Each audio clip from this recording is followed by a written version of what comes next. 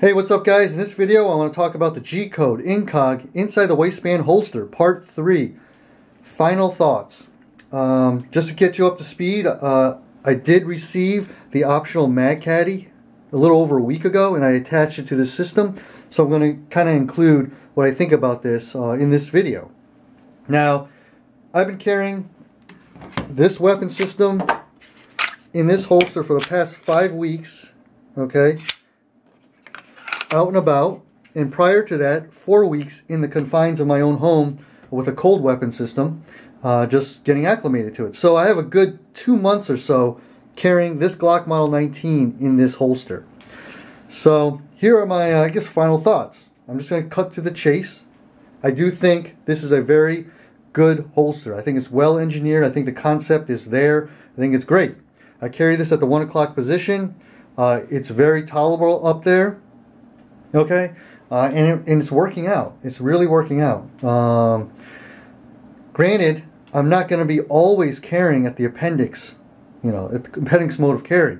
There are going to be times where I'm going to go back to the 330 strong side, but for now, for the time being, I have been carrying in this fashion, and it's working out really well. I'm I'm just very surprised. I was very skeptical going into this, and it made a believer out of me. It works. Now I do want to talk about, remember in my part two, that clip that was molded kind of funny and loose and the, the holster actually came out from under the belt. Um, I taught, you know, when I sent an email to G-Code, they handled it immediately. Customer service is top notch. They sent me out a new clip that was much more molded, tighty, you know, tight. Not like this, how this is all loose. As you can see, this is the new clip I put on there. And as you can see the difference, that clip is much more tighter, okay, and it's not coming up. There's not a lot of give like this one had. So guys, if you're ordering one of these holsters, I highly suggest you check out the clips that it comes with. Look at these clips. See if they look like this, because if they are, I don't think that's acceptable. Um, so pay attention to those clips. Only time will tell to see how these clips work out we'll see. I mean, in a few months, I'll come back and let you know how these clips are working out and how the holster system's working for me. But um, but for now, it's working out great. Um, so that's the old clip. We'll get rid of that one. The other thing is belt. Um, unfortunately, I do have a Zax, you know, gun gun belt, which is a very very thick leather belt. It just does not work with this system because of the huge the belt buckle up front. So I'm lucky that um, I do have a Ares Ranger belt, and that thing works out so well with this system. So, you know, that's unfortunate because I do like the Zax gun belt, but it doesn't work with this holster system. Uh, it works with my other uh, holster, the Pitbull Tactical, um, but again, it's it's still that belt is really thick, so it's still uh, a little difficult to get it through the loops. But you know, whatever. Just to kind of throw that out there, if you're going to use a really thick gun belt, eh, you may have some issues, may, with putting these clips underneath them, you know, getting that secured. Um, so other than that, this mag caddy I just got with this holster right here, I think this is a, such a great concept, guys. I really was like, nah, it's not going to work. Nah, no way. I think this is awesome, having the mag caddy like that. Uh, I love it. I have my you know spare source of ammo right up front, extremely efficient to you know reload because you can just grab right up front and grab this magazine and shove it in the gun. It's great. One issue with this though, because of the way this is positioned, and if you wear, wear um, a tighter fitting shirt or you know not as loose of a shirt, this thing, this mag is going to push out and it's going to make you look pregnant. Um, Little story, I was at a movie theater carrying in this fashion, just like this. And uh, I was wearing somewhat of a tighter shirt and this magazine was pushing out and I noticed a woman looking at my uh, navel area. And I was like, uh-oh, I think I got made. She's probably looking at me like, what the heck is up with his stomach? Because it did look funny. So, fair warning. I guess you can lower this, but I like it at this position so I can grab it really efficiently and quickly.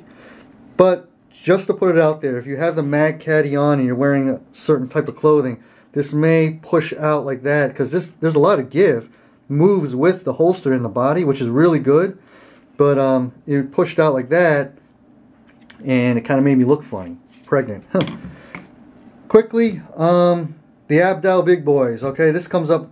This message comes to me a lot. The guys that have a larger padding in the stomach area, will this work for you?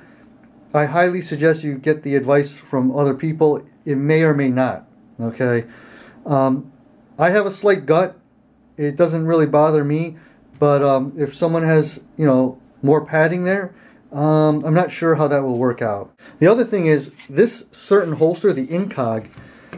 I would highly suggest if you're not going to carry appendix, don't bother with this. You know, don't bother with this. Look at Pitbull Tactical. Okay, if you're looking to carry on the strong side. Um, I honestly believe this is specifically made for appendix carry only. And I wouldn't want to move this back to 3.30, 4 o'clock position.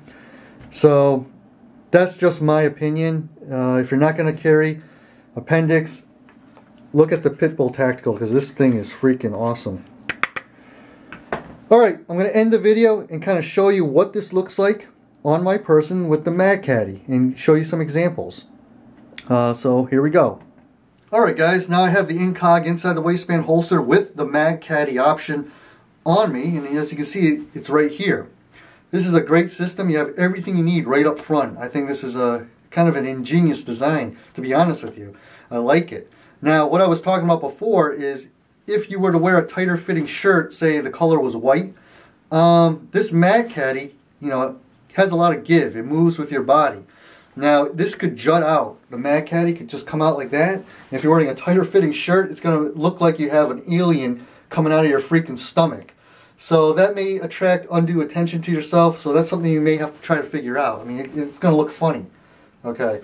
Um, but wearing a black shirt that's a little looser, like this one right here, um, breaks up the print, you know, it's not a big deal. But again, it's something you have to consider. But again, everything up front here, I think this is a great idea. I mean, just pretend you need to do a speed reload, you drop the magazine, grab your secondary source, slam it into the, the weapon system, and you're ready to go. Or if you want to do a tactical reload, you can replace that source of ammo in the mag caddy. You know, this is stuff you have to train on.